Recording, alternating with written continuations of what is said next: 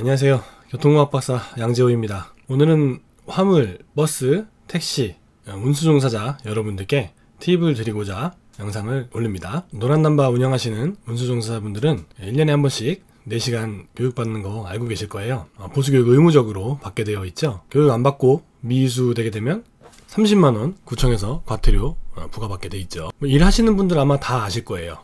어, 벌써 연말 다가오고 10월 중순인데 아직까지 안 받으신 분들 아마 많이 계실 겁니다. 받아야 한다는 거 다 알고 계시지만 아마 하루 이틀 이렇게 차일피일 미루다 보면 아마 오늘이 돼 있죠. 네. 보통 미루시는 운수종사자분들 그 심리가 어떠냐 하면 아 뭐 12월 달 가서 받으면 되지. 뭐 어차피 1년 365일 1월부터 12월까지 그 사이에 받으면 되는 거 아닌가? 이렇게 생각하고 계시거든요. 그래서 보통 12월 달에 이제 보통 교육받으러 많이 가세요. 그러다 보면 다양한 이벤트들이 발생을 하게 되죠. 네. 그 이벤트들 한번 쭉 말씀드려 보겠습니다.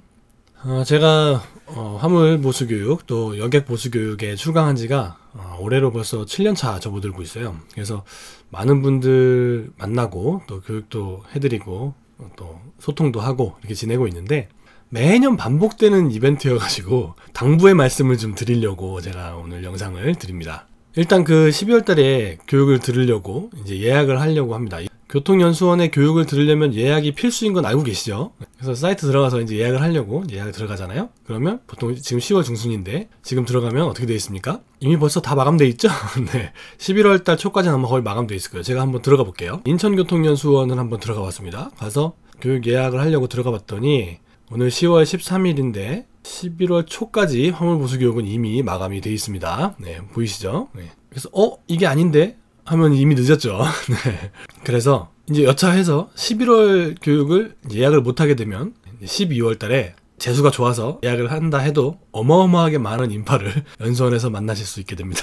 네. 상황이 이렇습니다. 그래서 좀 미리미리 챙기셔서 예약을 잘 해놓으시고, 그래서 멀리까지 가셔서 또 고생하시는 또 교육비도 내고 이렇게 힘들게 다녀오시는 일이 없도록 미리미리 준비를 좀 하시라고 팁을 전해드립니다. 또 한 가지 팁을 추가적으로 드리자면 만약에 이제 인천 사시는 분이 인천교통연수원이 마감이 딱 됐잖아요. 그러면 이제 경기도 교통연수원이나 서울교통연수원으로도 갈 수 있단 말이에요. 그래서 이 보수 교육은 전국이 호환이 되니까 그 이수증만 있으면 다 이제 나중에 과태료 대상에서 제외되잖아요. 근데 가서 하면 되는데 문제는 그 타시도도 상황이 어차피 마찬가지라는 거예요. 그쪽도 이미 벌써 마감되고 벌써 사람이 넘쳐나고 있습니다. 그래서 가봤자 못할 확률이 매우 높아요.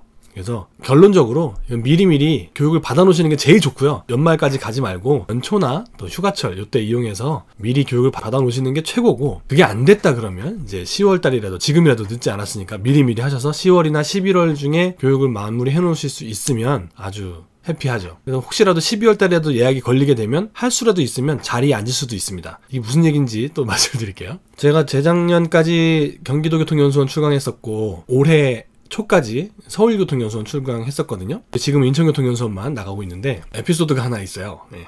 매년 있는 에피소드죠. 예. 재작년 연말로 제가 기억을 합니다. 예. 재작년 연말에 제가 화물보수교육 출강 강사였어요. 예. 여기도 보시다시피 제가 책도 쓴 사람이라서 예, 화물 보수교육 강사고 이제 올해는 이제 버스 예, 쪽 이제 보수교육 담당하고 있어요. 화물 쪽 이제 하고 있을 때였어요. 근데 12월 이제 마지막 교육 돼가지고 나갔는데 그 인천교통연수원에 1,700분이 오시는 걸 봤습니다. 1,700분이요. 인천교통연수원이요. 3층 대강당이 430명이 정원이고 1층, 2층 다 열어도 700명이 다, 다예요. 풀로 들어가면 700명 들어갈 수 있는 곳입니다. 근데 1700명이 온 거예요. 어떤 상황이 벌어졌을까요? 뭐 아수라장이었겠죠. 뭐 말할 필요도 없겠고. 예. 더 중요한 사실이 있습니다. 그분들이 화물하시는 분이라고 했잖아요. 그분들이 걸어오진 않으셨을 거 아닙니까? 그죠?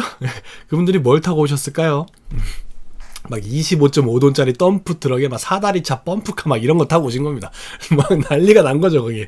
아, 지금 생각해도 대단했습니다, 그때. 아침 9시 교육 시작인데, 8시 반부터 이제 그 접수 오픈하거든요. 오신 분들 확인하고 이제 강의장으로 올려보낼 거 아닙니까? 그때 이미 벌써 주차장이 차고 넘쳐가지고, 아침부터 이제 예약 안 하고 오신 분들도 막 넘치고, 막 예약 안 하고, 예약 취소된 거 당일로 이렇게 들어가기도 하거든요. 그거라도 해야 되니까. 그걸 바라고 오시는 분들부터 시작해서 막 어마어마했습니다. 그래서 그 주변 일대 뭐 교통 당연히 마비 다 되고요. 뭐 경찰차 막 다 오고 난리 났었어요. 근데 이게 매년 반복되는 일이라는 거예요. 개선이 안 됩니다, 이게. 왜 그런가 생각을 해봤더니 미리미리 교육을 받지 않기 때문이에요. 물론 생업에 바쁘시고 힘든 상황이신 건 제가 잘 압니다만 미리미리 좀 챙기셔서 받아놓으시면 여러분도 고생 안 하시고 강의하시는 강사님들도 고생 안 하시고 연수원 계신 분들도 고생 안 하시고 서로 서로 해피한 거니까 고생하지 마시고 미리미리 교육 예약하셔서 받으시라고 제가 지금 말씀을 드립니다. 지금 이 영상을 보시는 운수정서자 여러분 중에 교육을 안 받으신 분이 만약 계시다 그러면 빨리 해당 시도 혹은 광역시의 교통연수원 사이트에 들어가셔서 바로 예약부터 하십시오.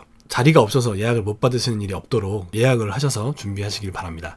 네, 오늘 화물 보수 교육하고 여객 보수 교육에 대해서 말씀을 드렸습니다. 미리미리 예약하시고 미리미리 준비를 하셔서 고생하시는 일 없도록 하셨으면 좋겠다는 생각에 오늘 영상을 준비해 보았으니까요. 도움이 되셨기를 바랍니다. 화물 보수 교육이나 여객 보수 교육 관련돼서 궁금하신 사항이 있으시면 언제든지 댓글로 문의를 해주시면 답변을 드리도록 하겠습니다. 문의하실 때는 선 구독 선 좋아요 하신 다음에 문의를 주십시오. 그러면 감사하겠습니다.